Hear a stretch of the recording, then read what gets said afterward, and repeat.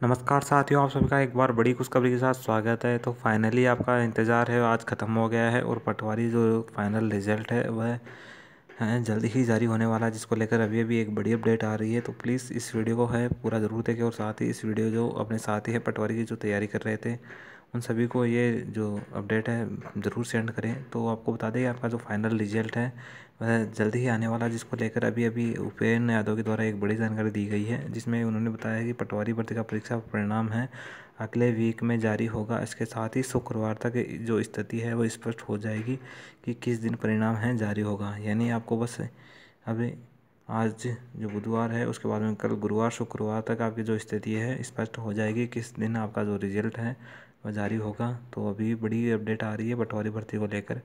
तो जल्दी ही आपको इसी प्रकार की जो इस भर्ती को लेटेस्ट अपडेट आएगी तो सबसे पहले आपको यहाँ पर बता दिया जाएगा। तो चैनल को ज़रूर सब्सक्राइब करके रखें बेल आइकन को प्रेस कर ले। और यदि किसी भर्ती की जानकारी चाहते हैं तो आप कमेंट कर सकते हैं। थैंक यू जय हिंद, जय भारत।